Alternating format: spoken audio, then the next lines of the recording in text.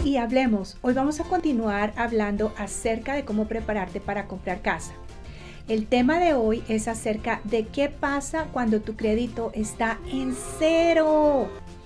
Bueno, no te asustes. Todos empezamos de ahí y te voy a decir lo que yo hice cuando, eh, cuando llegué a este país, que era inmigrante, obtuve mi residencia y tuve que crear crédito. Ahora también mi hija, que tiene 18 años, está haciendo esto vamos a un credit union o hay algunos otros lugares donde puedes obtener una tarjeta asegurada donde tú pones en una cuenta de ahorros o de cheques 500 dólares o una cantidad más y el banco te va a dar una tarjetita que es de crédito sobre tu propio dinero para que ellos puedan ver cómo va a ser tu comportamiento. Al cabo de tres o cinco meses ya tienes puntaje.